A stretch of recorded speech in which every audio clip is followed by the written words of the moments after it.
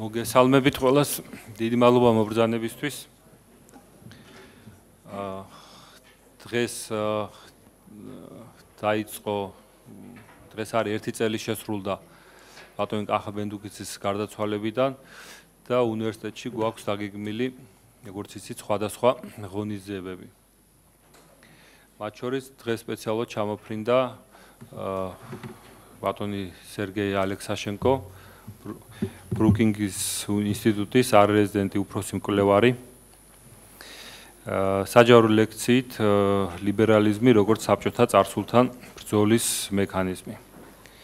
მე ძალიან მოკლედ ვიტყვი ბატონი სერგეი იყო რუსეთის ფინანსთა მინისტრის მოადგილე, რუსეთის ცენტრალური ბანკის თავმჯდომარის პირველი მოადგილე, ინტეროსის ჰოლდინგის მართველი დირექტორი და მერილიჩის რუსეთის ფილიალის მართველი დირექტორი. აა ბატონი სერგეი დღეს ჩამოფრინდა სპეციალურად ამ დღისათვის და სანამ სიტყვას გადავცემ ნატალი ვიმოშე დაბავით.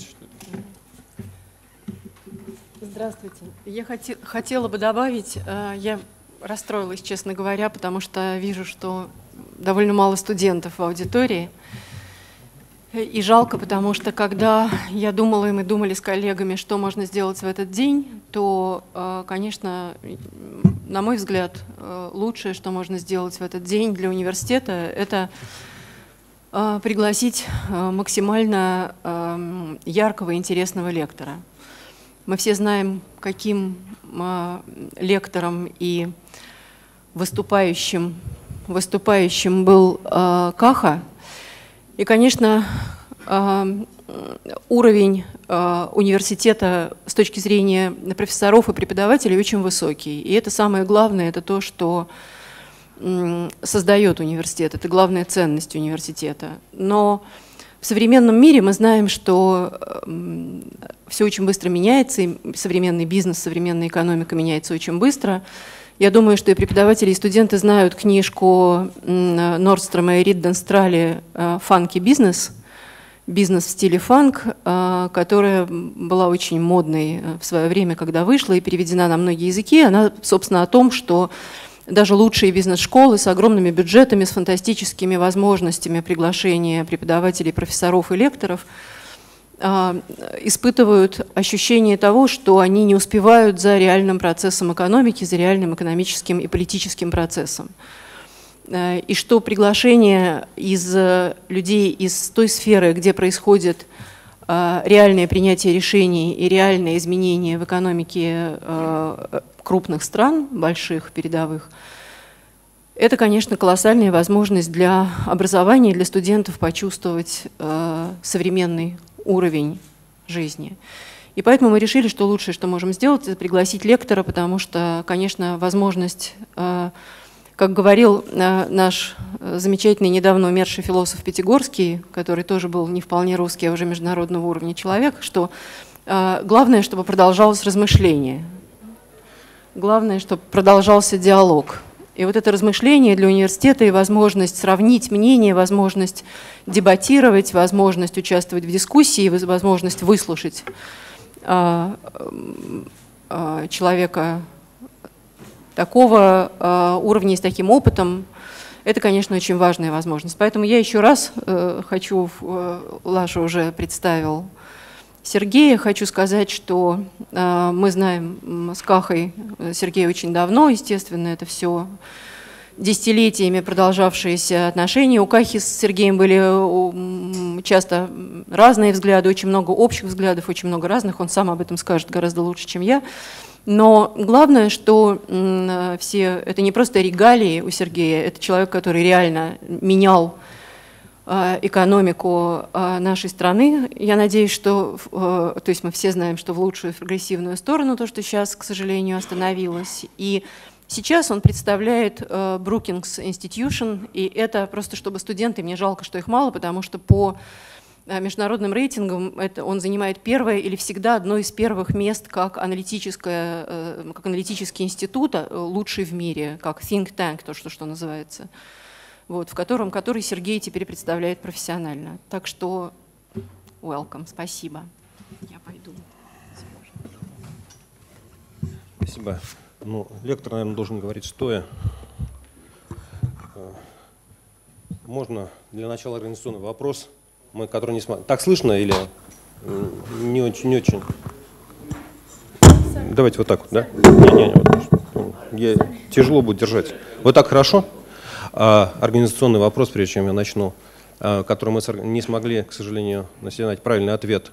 Мне на русском языке говорить или на английском? Поднимите, пожалуйста, кто хочет, чтобы я говорил на английском языке. Так, кто хочет, чтобы я говорил... На грузинском не могу, к сожалению, да? А, вот, извините. На русском языке.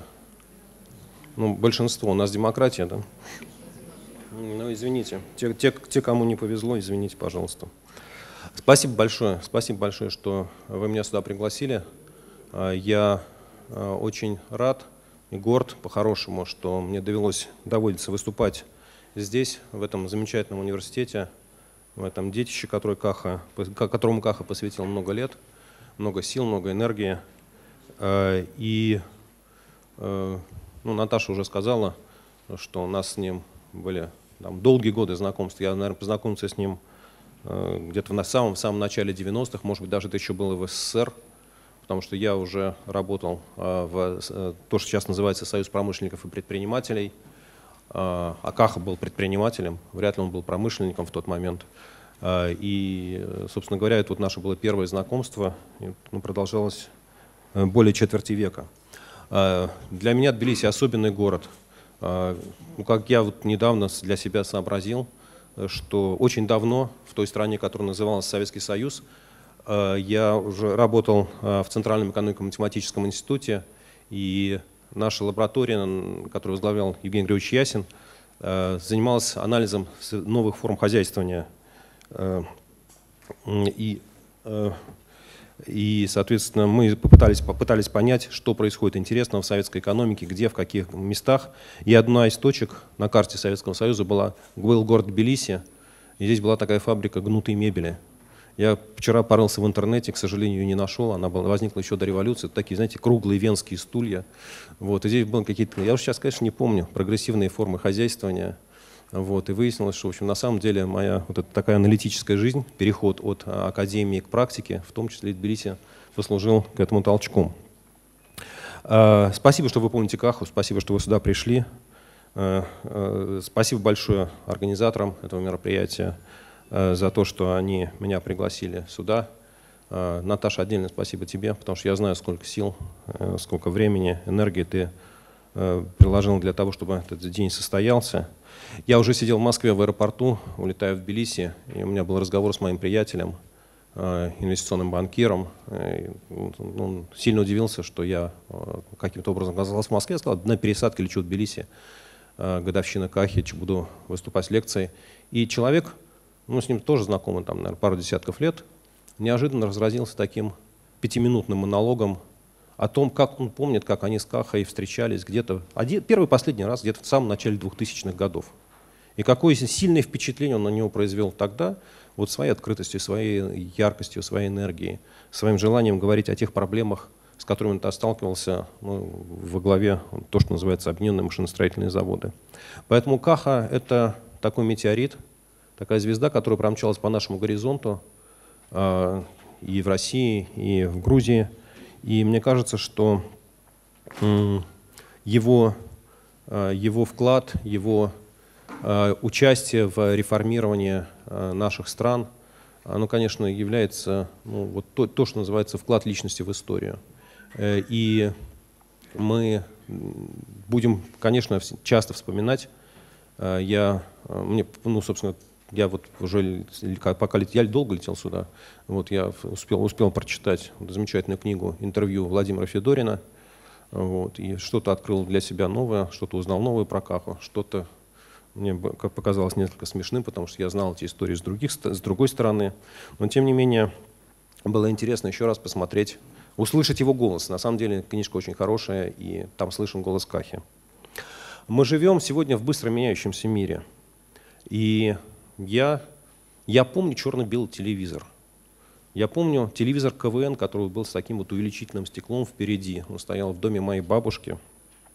Я помню жизнь без интернета, без мобильного телефона. И появление пейджера это было каким-то таким чудом, которое вот вообще технологическим. А, и за четверть века, ну там за 30 лет, как я закончил Московский университет, жизнь сильно изменилась. И она, конечно, меняется в лучшую сторону. И она меняется во всем мире.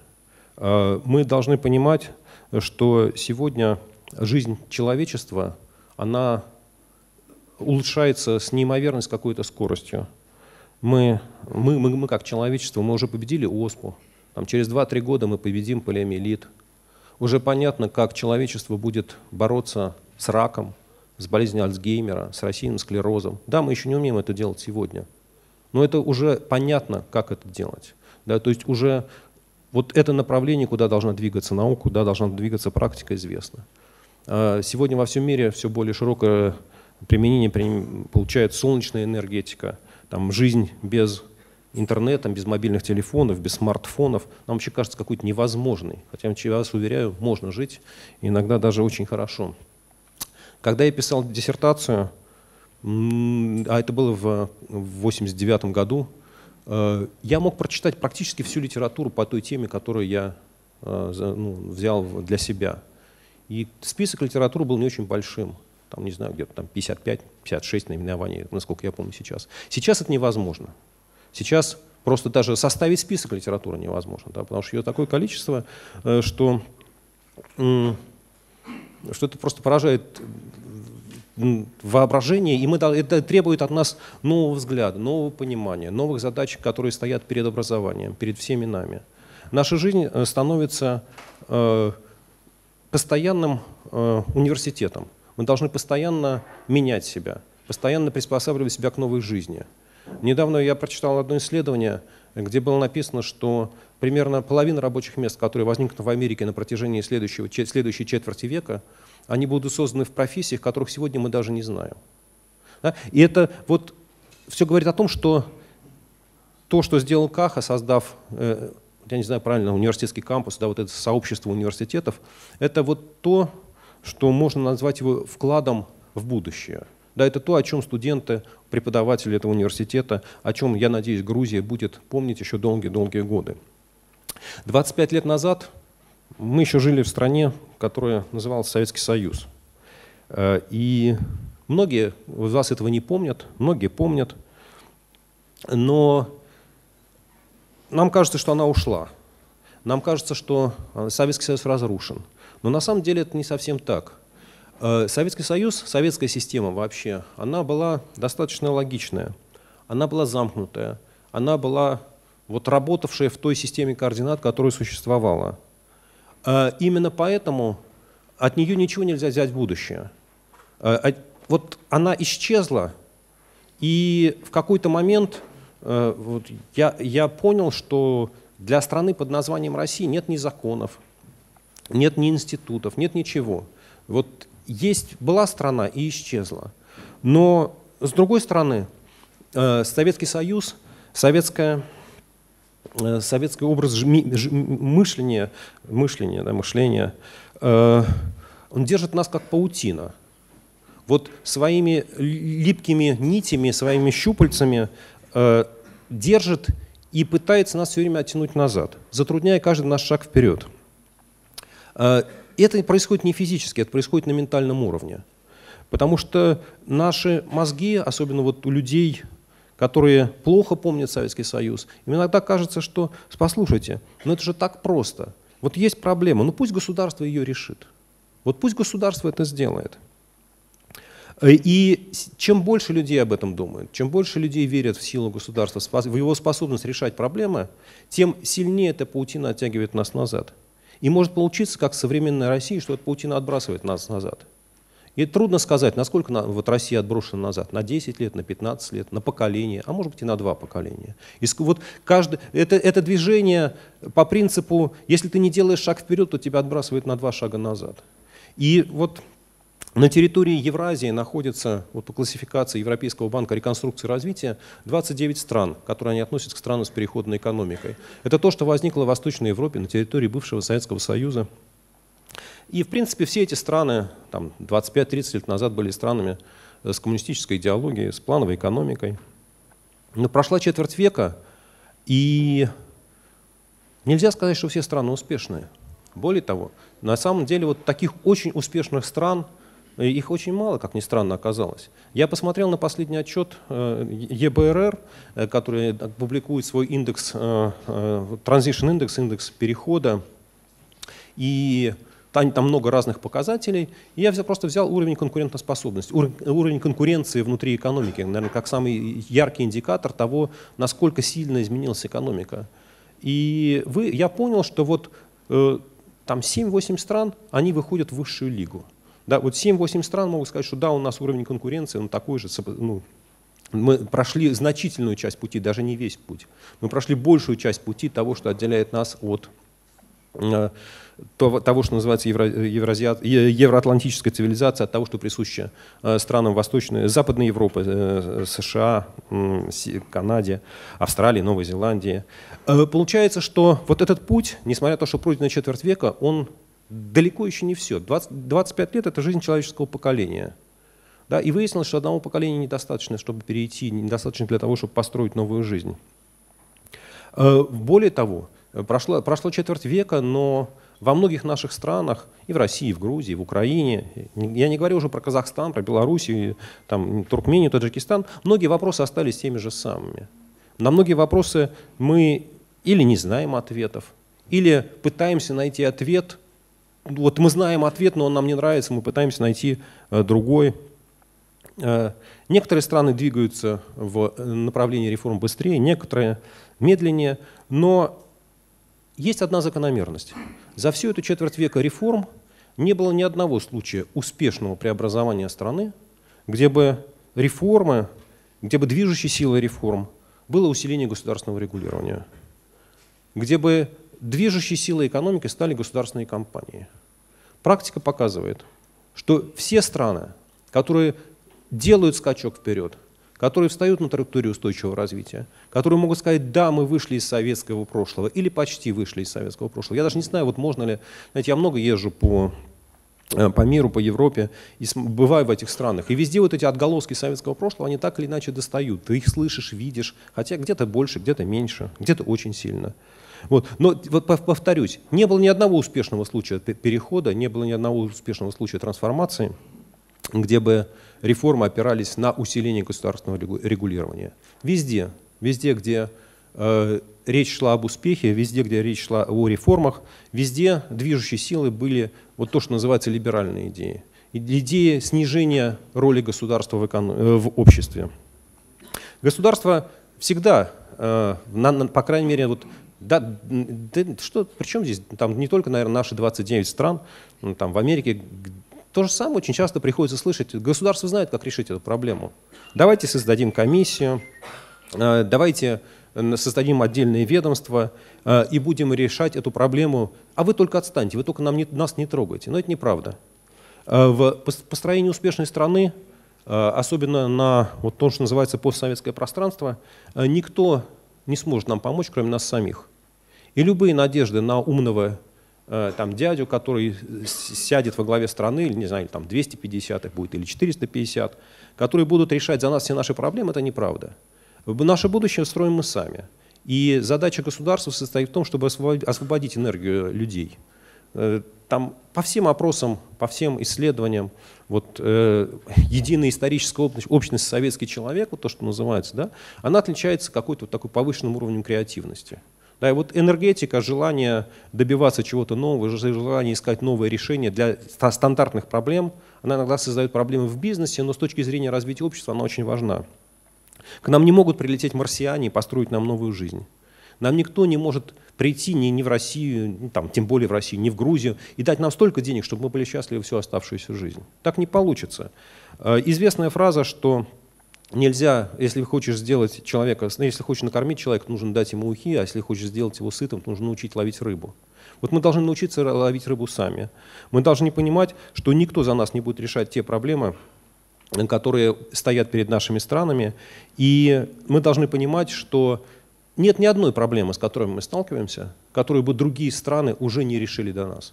Это такой миф, который нам очень часто приходится слышать, что мы уникальная страна, что те проблемы, с которыми мы сталкиваемся, их никто никогда не видел что, те, что только у нас уникальный путь в истории, и что не надо нам поучать, вот, э, только, только плохие примеры. Только если мы хотим что-то сделать плохое, мы говорим, вот смотрите, у них то же самое, вот во Франции, в Америке, в Китае, не знаю, где-нибудь еще. А вот хорошего мы у них не видим. Это неправда. Все проблемы, которые мы, с которыми мы сталкиваемся, они уже были решены.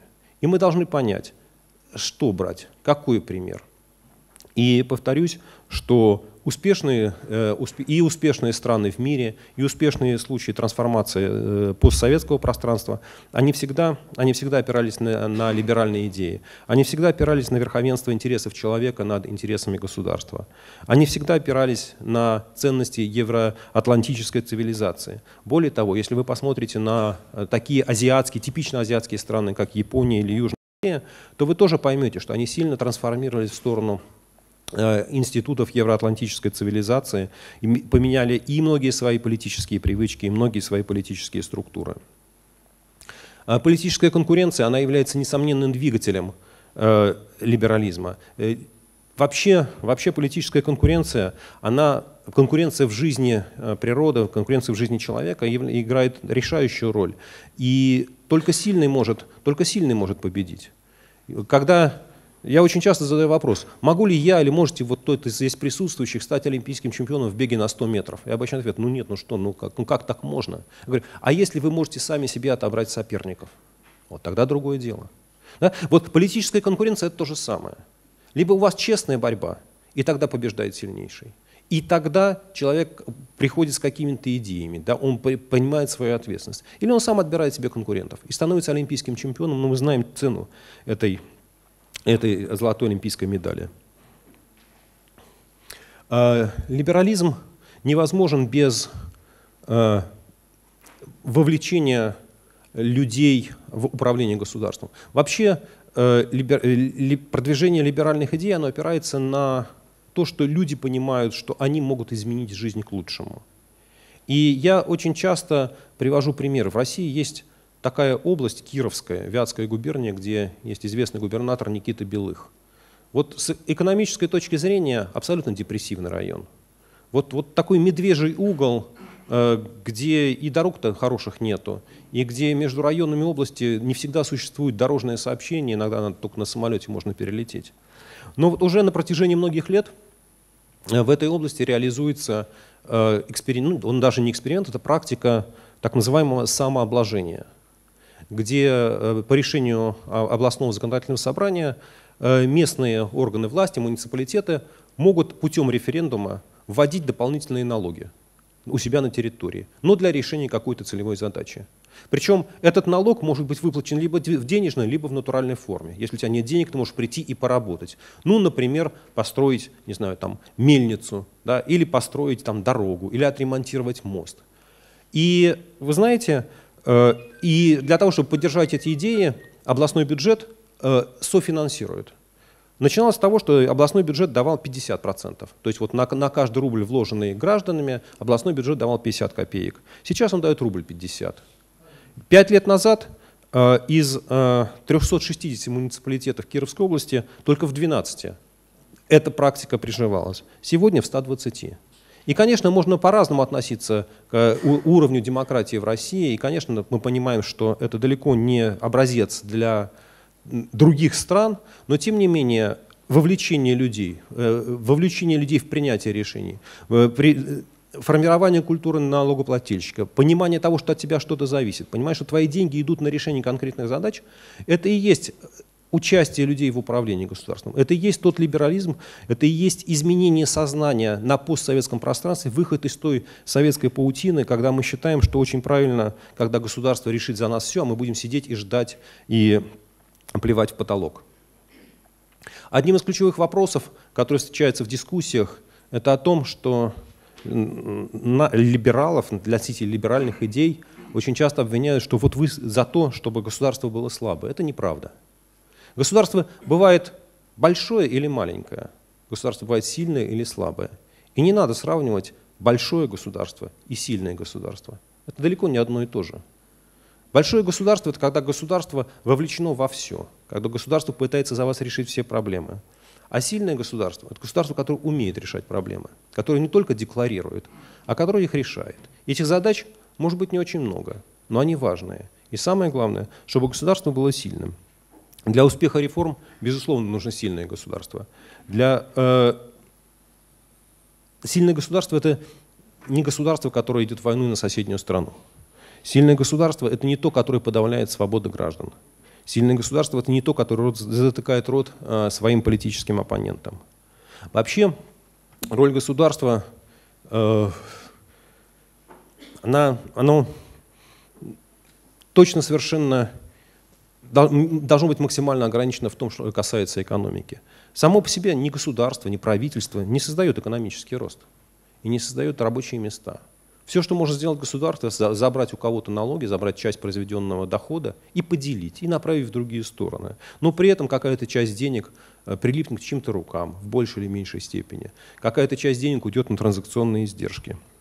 Рабочие места, рост экономики создает частный сектор, предприниматели. И сильное правительство – это то правительство, которое понимает долгосрочные интересы страны.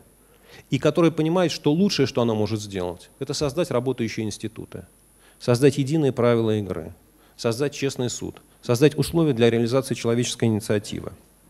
Конечно, государство должно создавать и макроэкономическую стабильность, и устойчивый бюджет, и низкую инфляцию, но это, это не является там, ни либеральными ценностями, ни консервативными ценностями. Вы знаете, просто это такая ну, рациональная политика. Да, и нельзя сказать, что вот если там, министр финансов проводит политику сбалансированного бюджета, то он либерал или консерватор. Да нет, это обязанность государства. И в этом состоит сила государства, что государство должно создать абсолютно надежную основу для того, чтобы экономика функционировала успешно. Э, реформы удаются в странах, где общество в них верит. Э, потому что без участия общества в реализации реформ э, успех достичь невозможно. И, но самое главное, но самое главное, что э, реформы, э, реформы и либерализм неотделимы от личностей. Вот э, очень часто можно столкнуться с тем, что, например, сегодняшняя Украина – это такой вот сильный парадокс для меня. Есть огромное общественное движение. Вот был Евромайдан там, чуть меньше двух лет назад, да, когда люди э, готовы были проливать кровь за, за свободу, за разрыв с прошлым, за выход вот из того советского прошлого. И при этом нет личности, которые готовы э, реализовать программу реформ. Э, мы смотрим на сегодняшнюю Украину и понимаем, что страна теряет время. Прошло уже больше полутора лет, а ВОЗ, что называется, и ныне там. И Э, наличие, появление политиков, которые принимают решения о стратегии реформ, о направлении реформ, о содержании реформ, появление политиков, которые доносят свою точку зрения до населения, которые убеждают людей в необходимости принять реформы, это, это и есть либерализм, потому что эти политики, они не скрываются за э, стенами кабинетов, они не скрываются э, за коллективной ответственностью, они не боятся сказать, что это я, это мы. Мы предлаг... Я предлагаю сделать то-то или то-то. А, политики, которые меняют жизнь, они не боятся изменить баланс интересов. Невозможно провести реформу, никакую реформу, если вы не затронете чьих-то интересов. Проще всего вообще ничего не делать. И тогда все интересы будут соблюдены. И, наверное, в этом и состоит интерес большинства, чтобы ничего не менять. Но если бы политики всегда ориентировались на позицию большинства, то, наверное, мир застрял бы в своем развитии. Если мы посмотрим на страны Восточной Европы, то и вот такие имена, как Лешек Бальцерович, Вацлав Клаус, Егор Гайдар, Март Лари, Иван Миклаш, Каха Бендукидзе, это и были те люди, которые трансформировали свои страны. Они не боялись брать на себя ответственность. И они, я для себя назвал это, они трансформировали Homo Sovieticus в Homo sapiens. Да? То есть они меняли человеческую природу, они раздвигали наши горизонты, они показывали, что и как можно двигать. И если вот нет такого мощного человека, если нет личности, которая движима либеральными взглядами, либеральными идеями, то тогда не бывает и успеха реформ. Э, ни одно правительство в мире не может исправить вселенскую несправедливость. Мы много, вот много бывает ситуаций, когда вы ничего не можете поделать. Вы не можете сделать, чтобы все дети рождались здоровыми. И вы не можете сделать так, чтобы после какой-нибудь стихийной катастрофы, не знаю, наводнения, землетрясения, урагана, вот всем технологической катастрофы, не дай бог, э, чтобы всех все появилось сразу, и у всех жизнь была прекрасной. Так не бывает. И более того, это невозможно даже на это рассчитывать. Э, и мы должны понимать, что любое желание политиков решить эти проблемы, любое обещание политиков решить эти проблемы, это то, что называется бесплатный сыр в мышеловке, которого не бывает. Решение любых проблем, решение любых проблем в нашем обществе, они построены на том, что у кого-то что-то забирают, а кому-то другому отдают. Но мне кажется, что чем больше государство пытается перераспределить, тем менее эффективно оно. Э, реформа, реформа быстрый рост, быстрый экономический рост невозможны в замкнутой экономике. Э, есть такое слово глобализация, которое стало широко известным и даже ругательным во многих э, кругах последние не знаю, там, пару десятков лет. Все, их, Критику в адрес глобализации можно слышать опять-таки во всех странах мира. Она приводит к тому, что товары приезжают, приезжают импортные товары, приходит к вытеснению, приводит к вытеснению местных производителей, к сокращению числа рабочих мест. Это можно слышать и в России, это можно слышать и в Америке. Но именно глобализация дала э, вот тот толчок уровню жизни человечества, который мы видим в последние пару десятков лет. Это и рост Азии, экономический рост Азии, во главе с Китаем, это экономический рост Латинской Америке, это экономический рост в Африке, который последние десяток лет растет со скоростью 6% в год, в целом, в целом такой огромный человеческий континент. И не было ни одного случая успешной трансформации, ни одного успешного случая прорыва экономики, которая бы росла быстро на протяжении длительного периода времени, когда бы страна опиралась на собственные силы. Когда бы страна говорила, у нас такой вот богатый внутренний рынок, мы столько всего хорошего можем сделать сами, у нас такой огромный творческий потенциал, что давайте вот мы все, э, там, весь импорт заменим своими продуктами. Э, так не бывает. Так не бывает. Ни, один, э, ни в одной стране внутренний рынок не может конкурировать с глобальным рынком. И поэтому открытие рынка, максимальная, максимальная интеграция экономики в мировую, это является одним из фундаментальных принципов либерализма. Чем меньше торговые барьеры, чем меньше препятствий на пути торговли, чем меньше препятствий на пути движения капитала между странами, тем более успешной является экономика. Э, она, это не происходит, вы не можете рассчитывать, что это случится завтра. Вы не можете рассчитывать на то, что это случится через неделю. Но если барьеры на пути движения товаров, труда, капитала снимаются, то через какое-то время вы поймете, что что-то изменилось здесь, что-то изменилось там, э, что э, ваши производители неожиданно научились производить что-то такое, э, что, может быть, не имеет спроса на вашей стране, но имеет спрос в других странах мира. И вообще, наверное, это уникальная ситуация вот в маленьких экономиках. Я даже считаю, что даже российская экономика, в принципе, маленькая. Там, я понимаю, что по сравнению с Грузией это очень много, но 2% мирового ВВП это, не, это ничто. Да, это же очень маленькая величина. И понятно, что даже в России могут быть, а современные масштабы промышленного производства зачастую требуют больших мощностей, и вы можете производить чего-то много хорошего, что вашей экономике столько не нужно. Да? А если вы будете производить мало, то это будет экономически неэффективно. И поэтому участие экономики, открытие экономики для мировой, для глобальной конкуренции, открытие экономики для участия в технологических цепочках, открытие в технологическом обмене является исключительно важным. Отечественный потребитель всегда выигрывает. Отечественный потребитель всегда выигрывает от того, что конкуренция расширяется, от того, что экономика раскрывается. И мы сегодня видим два таких замечательных противоположных примера э, с точки зрения э, глобализации. Одно это создание Евразийского экономического союза во главе с Россией, когда Россия навязывает высокие таможенные пошлины, навязывает свою практику экономическую, закрытие внутреннего рынка.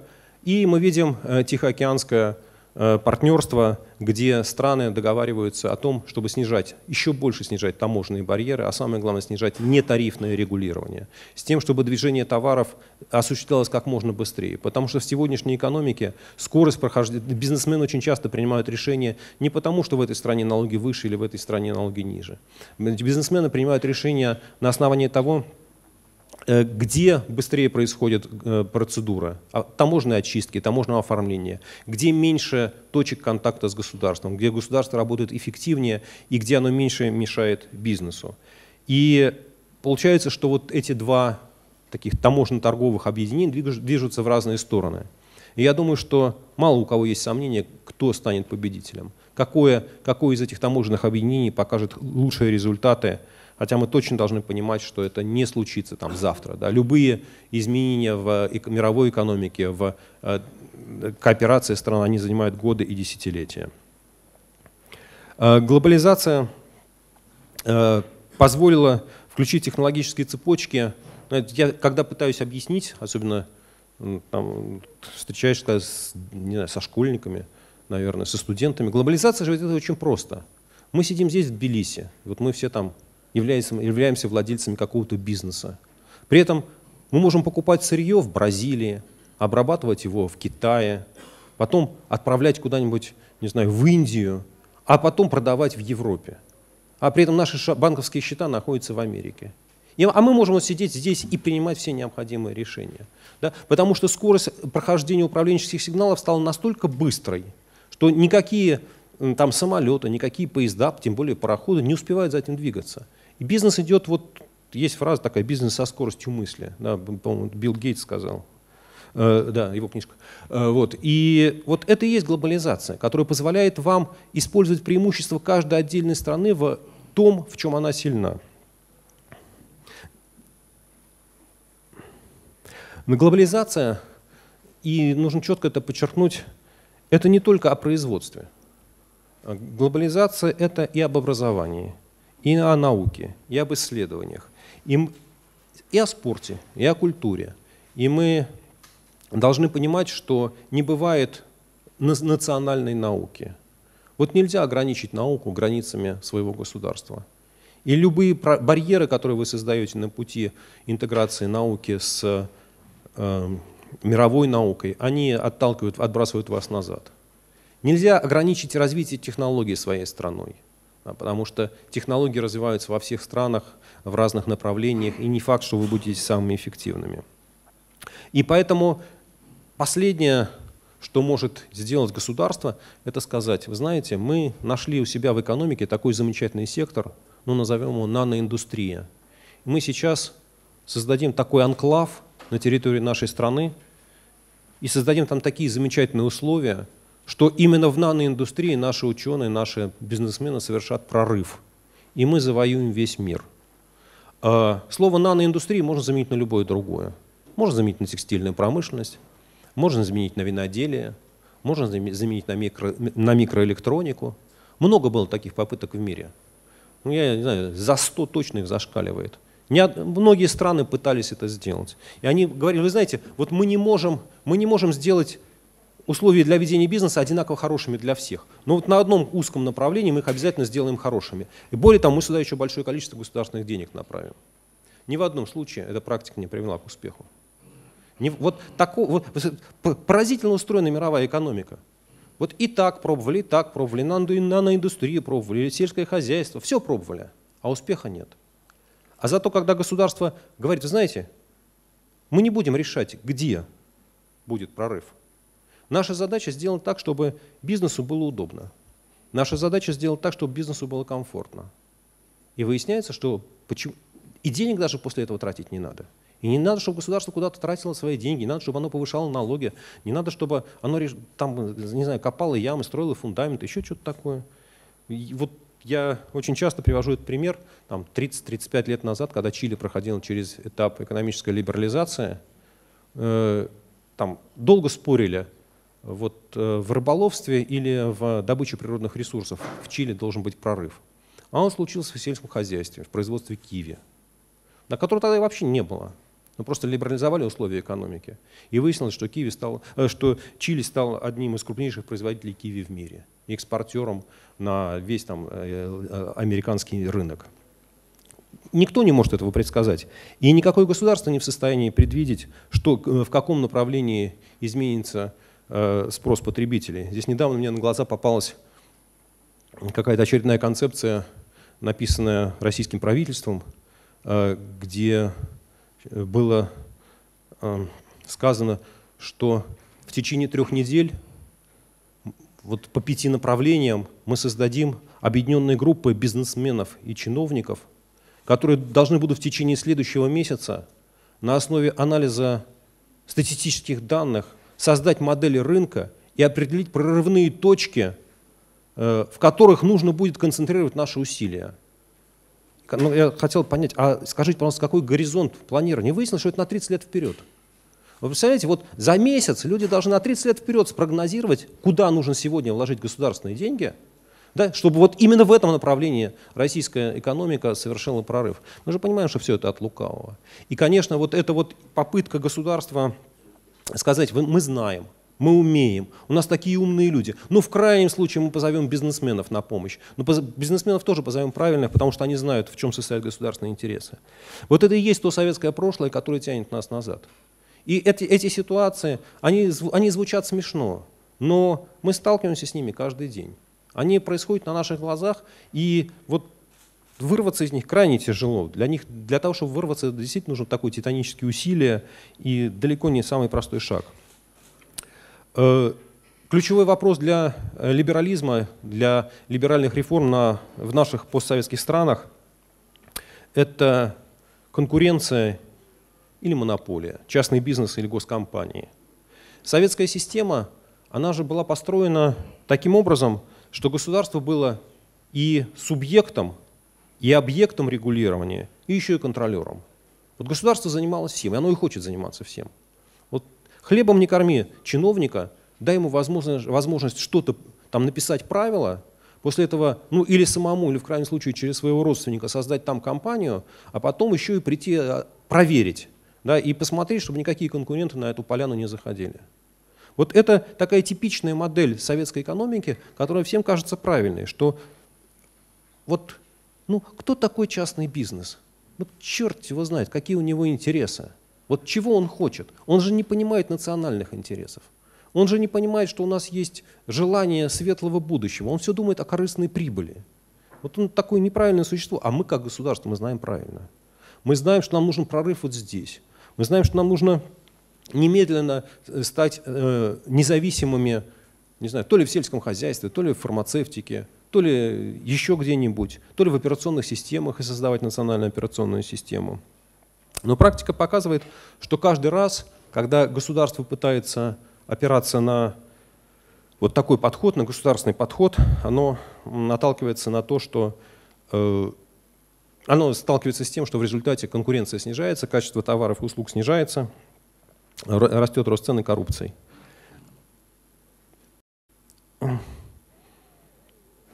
Ни одно государство, я уже говорил, да, не может э, предсказать, что случится э, с технологиями там, в течение 5 или 10 лет. Посмотрите, 15 лет назад там, у нас не было ни Фейсбука, ни WhatsApp, ни айфонов. А, недавно Э, вот знаете, как есть детский конструктор Лего, вот, который ты из, из имеющихся элементов создаешь что-то свое. И мы сидели с моим приятелем э, э, за ужином и обсуждали. Вот смотрите, есть компания Tesla, которая создала очень хороший электрический э, автомобиль. Да, вот, да, да, даст Бог, тьфу, извините, даст Бог построим фаб, построит фабрику по производству батарей и, э, соответственно, количество электромобилей в мире может резко увеличиться.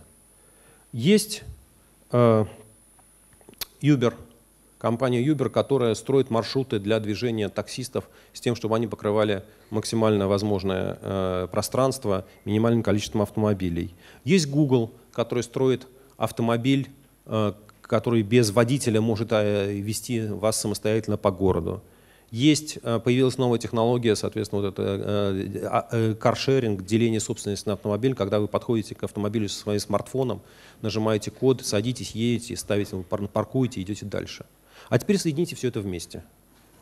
И получается, что движение в городе может быть организовано на электромобилях, которые, э, вообще-то говоря, принадлежат не вам, вы их арендуете на короткое время, э, и которые сами ездят по оптимальному маршруту с точки зрения того, что происходит в городе. Мало того, что это снижает нагрузку на всю городскую инфраструктуру, но это еще и резко снижает э, количество потребляемого бензина. А 50% мировой нефти, нефть, нефти, которая производится в мире, потребляется для легковых автомобилей. Понятно, что то, что я нарисовал, это некая такая мечта. Понятно, что для, для, для того, чтобы все реализовалось, должны пройти, может быть, десятилетия. Но это не так далеко, как нам кажется. Потому что составные элементы, они существуют. И все э, эксперты, которые работают в этой области, говорят, что на самом деле появление вот самоуправляемых автомобилей – это не вопрос далекого будущего, это вопрос трех, максимум пяти лет. Они выйдут на рынок уже очень-очень скоро. И вот такие вещи, они трансформируют э, мировую экономику. И ни одно государство не сможет этого предсказать.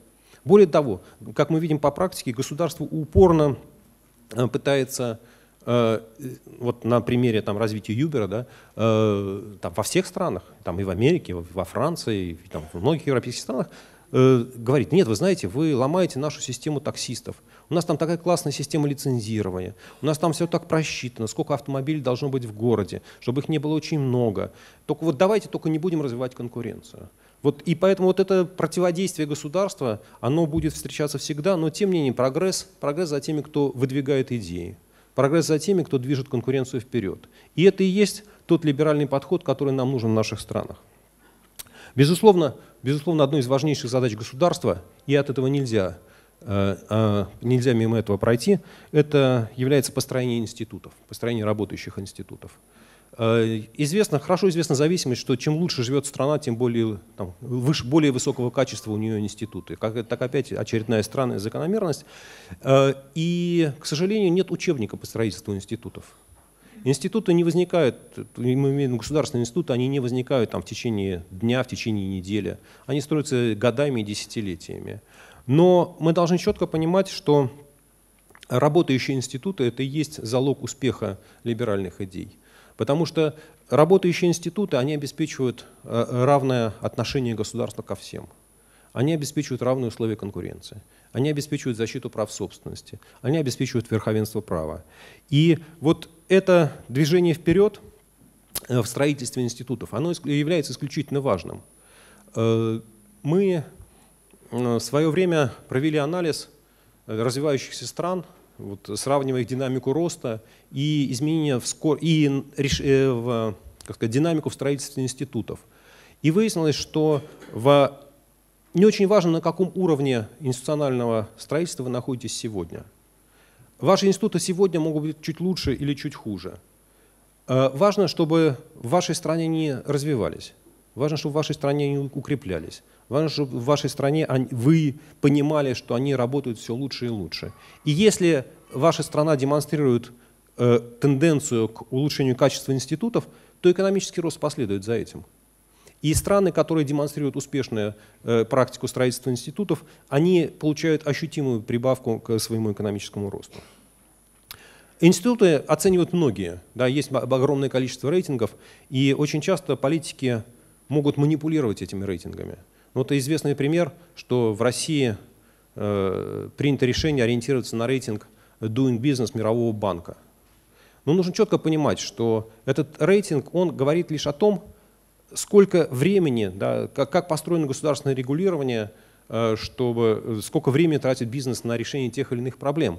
И нужно понимать, что этот рейтинг, так, так же как и любой другой, не отвечает на все вопросы. Потому что если вы возьмете рейтинг Doing Business, то выясняется, что на решение юридических процедур, ну, например, там, на подачу заявления а, э, иска в суд, на рассмотрение иска, на апелляцию, в России уходит меньше чем, э, времени, чем в Америке. И на основании этого в рейтинге Doing Business российская судебная система находится на более высоком уровне, чем американская. Мы же понимаем, что это неправда. Да? Поэтому институты – это вещь вот их нельзя быстро построить, их нельзя измерить там, метром, сантиметром, градусником, весами. Но мы четко понимаем, что есть качество институтов, э, которые мы ощущаем, которые, которым мы либо доверяем, либо не доверяем. И, наверное, одним из самых важных институтов, о которых вообще можно говорить на всем постсоветском пространстве, это институт э, доверия государству, институт честного государства. Э, это я сейчас хочу поговорить о борьбе с коррупцией. Я за последние полгода четыре раза был на Украине, в Украине, э, и общался там практически вот со всей там, э, руководящими так сказать, министерствами, правительствами и чиновниками, представителями президентской администрации. И я понимаю, что вот переход от плановой экономики к рыночной был достаточно простым. Там вот было всего одно единственное решение. Надо было либерализовать цены. Вот в конечном итоге плановая экономика – это та, в которой экономическое равновесие считалось можно обеспечить за счет работы умных людей, за счет работы компьютеров. Вот они посчитали, кому чего производить, по каким ценам продавать, и все, и экономика сбалансирована. Э, ну, выяснилось, правда, что это не работает, но тем не менее вера в это была. А в рыночной экономике вот это рыночное равновесие, экономическое равновесие обеспечивается за счет цен. Вот и переход от плановой экономики к рыночной опирался на это движение. И вот переход от такой э, экономики, которая завязана в советской паутине, к экономике западной, он решающим вкладом является, решающим шагом является борьба с коррупцией. Потому что мне кажется, что коррупция, не то что мне, я абсолютно четко понимаю, что коррупция в наших странах, она гораздо более страшная, чем на Западе. Э, и коррупция в наших странах, она зачастую является не тем, чем является коррупция Э, в, там, в тех же Соединенных Штатах, не знаю, там, в Сингапуре, Финляндии, в любых других странах. Э, вот. Э, очень часто, очень часто и нашим бизнесменам, и гражданам приходится платить взятки за то, за право ведения бизнеса. Ведь понимаете, все взятки, которые вымогаются пожарниками, санэпидемстанциями, налоговиками, таможенниками, это же и есть плата за ведение бизнеса. По большому счету это называется рэкет – Никакая это не коррупция. Мы должны четко понимать, что вот это вот, э, когда, когда э, гражданина за, там, гражданин для того, чтобы добиться решения государственной машины, должен как, заплатить взятку, это тоже рэкет. Потому что в противном случае государственная система не работает. И вот это вот страшное совершенно состояние, когда государство создает все условия для того, чтобы граждане, бизнесмены чувствовали себя абсолютно незащищенными, э, оно разлагает общественное сознание. Я недавно прочитал, что за последние 10 лет в России э, было издано 180 тысяч, 180 тысяч регулятивных актов на уровне разных министерств и ведомств. И мы понимаем, что вот понять, осмыслить вот это все, все, все великолепие бюрократической мысли, наверное, не может никто. Я сейчас летел, когда на самолете э, из э, Москвы в Тбилиси, был грузинский, грузинские авиалинии, и там объявление делает пилот на грузинском языке, естественно, и вдруг неожиданно я слышу знакомое слово «инструкция». Я понимаю, что в грузинском языке слова «инструкция» нет. Вот слово «инструкция» — это то, что инструкция, ведомство, да, это и есть то, что там советская система вам подарила.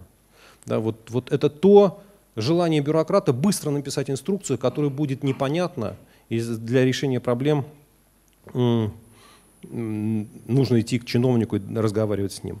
Борьба с коррупцией нелегкая, и ну, она не настолько сложная, э, чтобы э, в ней можно было опускать руки сразу же, как только вы это начали. Э, ну, десятки стран прошли через этот путь. И все понимают, что есть очень известные и хорошо работающие инструменты борьбы с коррупцией. Это политическая конкуренция, это независимые средства массовой информации, это независимый суд. Без этих трех инструментов у вас не получится победить коррупцию. И я э, в завершение хочу сказать, что либеральная мысль вообще либеральный подход к экономической политике – это и есть продукт э, развития человеческой цивилизации, это продукт развития западной демократии. Вертикаль власти, авторитаризм, диктаторство – они не могут в долгосрочной перспективе на, на длинном промежутке времени обеспечить ни технологический прогресс, ни процветание своих наций. И Э, очень важно, чтобы э, мы понимали, что наличие, что если ваш оппонент, человек, с которым вы беседуете, имеет другие взгляды, это не обязательно ваш враг. Э, политическая свобода, она, политическая свобода, сильные институты, конкуренция, верховенство права, это и есть вот те основы, на которых строится будущее. Строится будущее Грузии, строится будущее России, строится будущее наших стран. И пока мы не построим эти, этот, этот фундамент, э, наверное, мы не сможем вырваться из э, советской паутины. Каха был человеком, который показал нам, что это сделать можно. Он подарил нам надежду, он подарил нам мечту о том, что это можно, что нужно захотеть, и вы из этого можете вырваться. Даже в самой тяжелой ситуации ты можешь найти правильное решение. Э, Каха после себя оставил вот этот замечательный университет, сообщество университетов. И прямо сейчас. Ну, давайте. У меня Да. 30 секунд, ну, А, можно чуть-чуть, да? И я думаю, как изменилась бы наша жизнь, если бы каждый олигарх после себя оставил вот такому университету. И э, я памятник себе воздвиг рукотворный, да, вот мне кажется, что это про Каху. Вот я хочу, чтобы этот университет стал памятником Кахе, и я желаю вам успеха на этом длинном пути, нелегком пути, и я хочу, чтобы Каха гордился вами. Спасибо.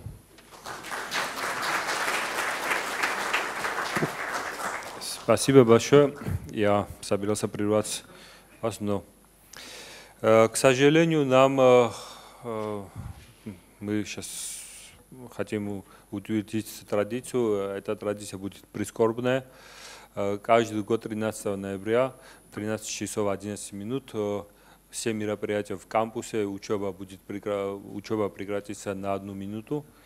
И все почтят минутой молчания в память э, Кахбендукисе.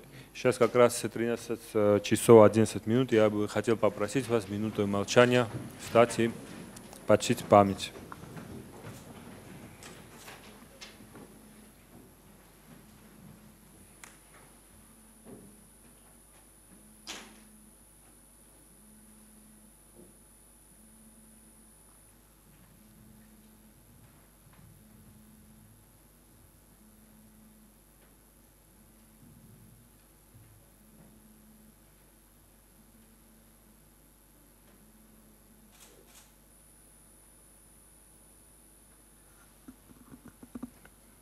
Большое спасибо.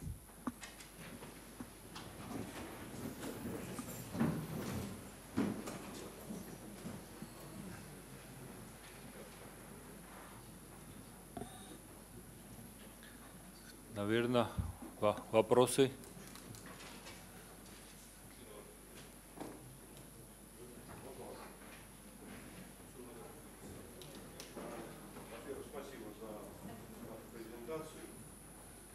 Э, Ваша, э, ваш доклад был очень э, поучительным, очень информативным и полезным для нас. Э, У меня возникло несколько вопросов, но более, у нас, наверное, лимитированное время, поэтому основной вопрос. Вот я гражданин Грузии. Я хочу, и мы все часто говорим на экранах телевизоров, политики и на кухнях, мы думаем о будущем мы как будто бы предполагаем, какие у нас проблемы. Вот то, что вы говорили, рекоме- рекомендовали, говорили о том, что без чего не может быть развития и так далее. Как добиться того у нас в Грузии, например? Ну, в России, я понимаю, там другая ситуация. У нас в Грузии какие могут быть рычаги, какие могут, должны быть поступки – со стороны народа, я не говорю даже о правительстве, потому что, он, я, на мой взгляд, у нас было правительство, которое сделало реформу при участии нашего незабвенного Кахи Бендукидзе. Были какие-то критерии, не только продается все, кроме совести, много чего другого. Они сделали ка- кардинальные реформы, пошли, несмотря на большие проблемы. Но я лично вижу, что эти реформы остановились. Пришло новое правительство непрофессионалов и так далее. Но я не вижу механизмов, как нам изменить эту ситуацию, как нам снова активно развиваться, реформироваться, включаться в мировой рынок, участвовать в глобализации. Я не вижу. Можете ли вы ответить на этот вопрос? Спасибо. Марсиане не прилетят. Марсиане не прилетят и не решат все эти проблемы. А, И то, что вы назвали, это и есть политическая борьба. Это и есть политическая деятельность. Это и есть э, вовлечение в решение тех проблем, которые стоят перед страной. А, Поэтому бороться, бороться и бороться. Бороться, вы знаете, это тяжело, временами это больно, Временами кажется, что это совершенно безнадежно, но э, нужно четко понимать, что если не бороться, то как под лежачий камень вода не течет. Да, вот э, я все время вспоминаю э, э, декабрь 2011 года в России, когда были выборы в Думу, да, и после чего были вот эти массовые протесты. Э, к сожалению, там ну, вот не, не смогли это, э, как сказать, в хорошем смысле разыграть. Но ведь вот э, более, более тяжелые ситуации с точки зрения выборов, да, вот поменять политику можно только через выборы. Ну, да, вот есть один единственный инструмент. Вот более тяжелой ситуации, чем в декабре 2011 года, в России не было с точки зрения выборов, потому что было законодательство, по которому были семь партий, которые, э, которым было разрешено участвовать в выборах. И все. И получить партийную лицензию было невозможно. И все они вот были так или иначе, там, были, их политика была согласована с Кремлем. Вот в тот момент победой было то, что Единая Россия получила меньше 50% голосов при всех тех фальсификациях и подтасовках, которые существовали. Да? Собственно, это, это и вылилось, это и вылилось вот в те протесты, это вылилось в те протесты, которые вышли на улицы Москвы. Да, и это там так или иначе поменяло подход э, российской власти к тем или иным вопросам. Нет, нет другого выбора. Вы знаете, вот и, и бессмысленно его искать. Э, срок, который Слушайте, был, это... на который избран президент а, и вот парламент и все такое. Я, я, я, я вам не говорю, что я вам не, знаете, я, я не марсианин, я не марсианин, и у меня нет золотой рыбки. Да, я не могу сказать, знаете, вот сейчас у вас все будет хорошо. Просто нужно четко понимать, что э, жизнь не заканчивается ни сегодня, ни завтра, ни в 2016 году. И когда мы говорим о, э, о реформах, то мы говорим о десятилетиях и поколениях. Да, и я сильно надеюсь, я сильно надеюсь, что и в России, и в Грузии реформы еще впереди. Потому что э, нас еще слишком много нереформированного осталось. Да, у меня тоже вопрос. Вопрос был про Грузию, а меня как раз интересует, как вы считаете, в чем, так сказать, будущее либерализма в России? Каков ваш прогноз? Спасибо. А, а я могу то же самое повторить, что я вам сказал здесь. А, любые реформы в России, которые будут, если они будут, ну, знаете, сейчас причинно-следственные связи попробую поменять. Если Россия встанет, если Россия встанет на траекторию устойчивого развития, если Россия, ситуация в России, экономическая в первую очередь, начнет улучшаться, то это будет результатом либеральных экономических и политических реформ. А, Россия э, – это страна, которая вот на сегодня, там уже 15 лет, существует э, в условиях ну, фактически абсолютной монархии. Россия – это страна, государство, где на протяжении 15 лет последовательно разрушаются государственные институты. Это можно просто их просмотреть, как и что. И э, вот монархия тоже имеет право на существование. Но в монархии есть один очень важный институт – институт наследования – наследники, то есть тот, кто придет после, он думает о будущем, он защищает интересы будущего. В России этого тоже нет. В России было два э, случая за последние сто лет разрушения такой системы. Один раз это в 1917, а другой раз в 1991. И в том и в другом это завершалось и э, территориальным разделением государства, развалом государства, и сменой политического режима. Да, то есть угроза, она огромная. Да, и вот, скажем, там нарисовать плохой сценарий очень легко. Но сцена, надежда на будущее в России связывается только с либеральными реформами. Больше ни с чем. А, вы знаете, это вопрос очень легко на него отвечать. А, вы же помните там, какой-нибудь там 1985 или 1987 год. Ну, кто там мог проводить реформы? Да ну, ну посмотрите на мавзолей, вот они все перед вами.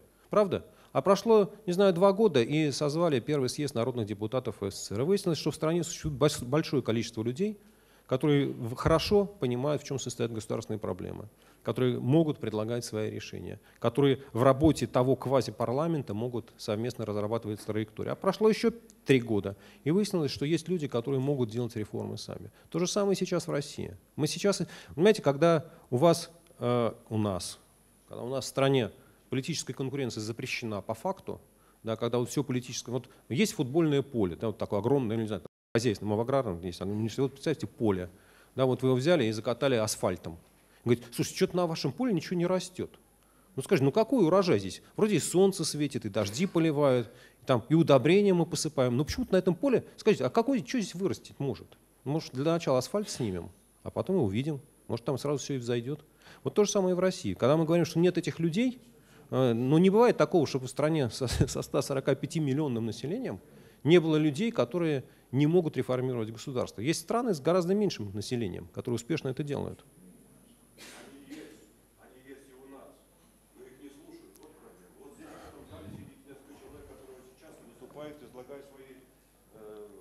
э, свои советы дают. Их не слушают. Вот да. проблема в чем. Проблема. Бороться надо. Я, я, я, я не, опять, не подумайте, что я считаю, что это просто. Да? Но другого способа нет. Другого способа нет, да, вот, вот прийти к победе, кроме как борьбы, только вот олимпийский чемпион, где вы сами себе выбираете соперников, тогда все просто. Только такую систему надо сначала создать.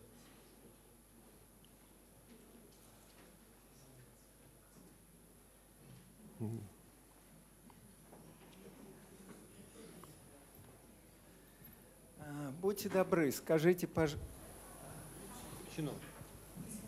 Близко.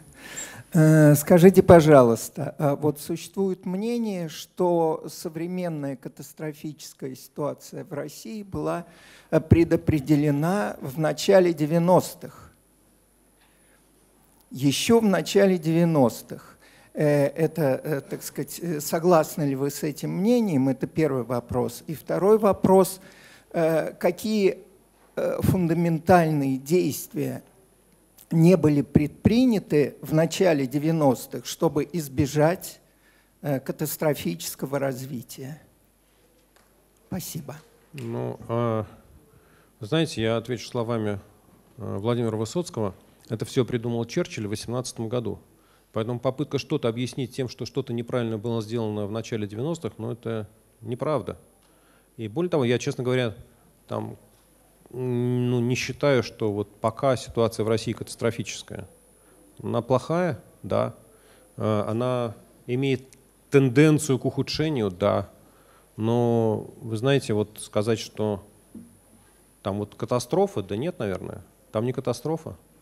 И было бы неправильно говорить, что, знаете, а вот сейчас э, вот еще что-нибудь случится, вот сейчас нефть там уже 44, а вот она будет строить 40, и там все рухнет. Ничего не рухнет. Так не бывает. Вот, э, поэтому вот проще всего, проще всего объяснять, вы знаете, 20 лет назад вот вы приняли такое решение, и у нас сейчас плохо. Или там цены на нефть снизились, и в России плохо. Э, вот э, кто хочет сделать, тот ищет способ. А кто не хочет сделать, тот ищет оправдание. Вот попытка рассказать там, о начале 90-х, то это оправдание. Я считаю, что самая большая ошибка начала 90-х, их ну, там на самом деле много было, да, но вот такие э, ключевые – это то, что э, реформаторы, ну, то, то, что реформы были сосредоточены в области экономики. Да, то есть э, шла речь о реформах экономики, экономической части, и совершенно в стране остались политические реформы. Эм, ну, вот так, так, так случился расклад политических сил, что... Сейчас, смотрите, вот там Гайдар отвечал за экономический блок, а за политический блок отвечали там, Бурбулис и Полторанин в России. Да? И вот по каким-то соображениям, э, по каким-то, не знаю, ну, я, я правда не могу вам ответить почему. Вот осталась в неприкосновенности и судебная система, осталась в неприкосновенности КГБ, осталась в неприкосновенности вот та полиция, милиция, да, которая там, ну, абсолютно не является правоохранительным органом, который не охраняет право, а занимается чем-то другим. Вот, вот так оно случилось. Да? И вот усилия реформаторов, они не были направлены в эту сторону, то есть и даже не пытались э, зайти на, вот в это пространство. И второе, наверное, э, из крупных, это то, что э, реформаторы, либералы российские, они так и не смогли создать, ну, преодолеть личностные разногласия и создать единую партию. Да, то есть вот на самом деле они отказались, вот, отвечая на ваш вопрос, от участия в политической борьбе. Они почему-то посчитали, что достаточно быть министром, и ты сможешь решать все проблемы. Оказалось, что не так. Оказалось, что вот э, э, от, от участия в политической борьбе зависит очень-очень много. И отказываясь от участия в ней, ты неизбежно проиграешь. Не факт, что участвуя в политической борьбе, ты выиграешь, Но если ты не участвуешь в политической борьбе, то ты точно проиграешь.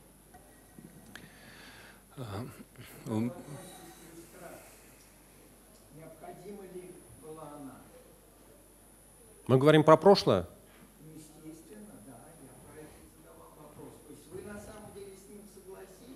Э,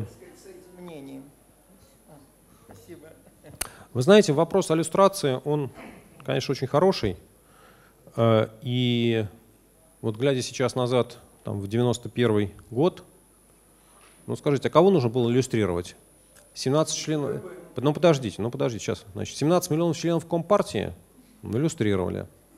Там э, всех, кто работал в КГБ, ну так их по факту и так иллюстрировали да, их там выгнали с работы, они все пошли в частный бизнес, их резко, да, то есть вот э, в, от того, что не было иллюстрации КГБ, э, сотрудников КГБ, в принципе, там на, на протяжении всех 90-х годов э, они никак себя проявить не смогли, они проявили себя там в 2000-е годы.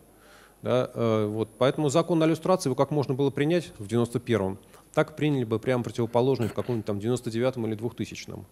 Да, мне кажется, что Э, вот э, э, иллюстрация хороша как инструмент в отдельных странах, в отдельных ситуациях, но мне кажется, гораздо более правильным является изменение институтов. Вот если бы, если бы КГБ был как символ просто разрушен, да, и там вот э, то, что Ельцин начинал, но не завершил разделение КГБ на отдельные структуры, которые конкурируют между собой и там сдерживают друг друга, это было бы более правильным решением. Да, но потому что в любой стране, в большой или в маленькой, существует какой-то аппарат, который занимается такой, вот, ну, не знаю, там, национальной безопасностью. Да? А в большой стране, тем более в стране, которая обладает ядерным оружием. В общем, национальная безопасность это, в общем, не, не всегда пустой звук, да, где есть там большое количество атомных электростанций. Ну, вот, поэтому, мне кажется, реформы институтов, они гораздо важнее, чем иллюстрация. Вот смотрите, давайте сейчас посмотрим, э, что, какое, что произойдет в Украине. Вот они провели иллюстрацию да, и мы понимаем, что иллюстрация проведена, а институты не реформированы. Лидера, лидера в реформах нет. Там есть многочисленные политические компромиссы, да, и эффект иллюстрации нулевой. Вот если вы сделали иллюстрацию, но ничего другого не... Иллюстрация — это вот один из возможных кубиков лего. Его можно вложить в конструкцию, и, наверное, в какой-то ситуации он может оказаться полезным. Можно конструкцию построить и без него. Но нельзя считать, что вот иллюстрация — это решение всех проблем. Спасибо большое. К сожалению, у меня очень неприятная роль сегодня э, насчет прерывания.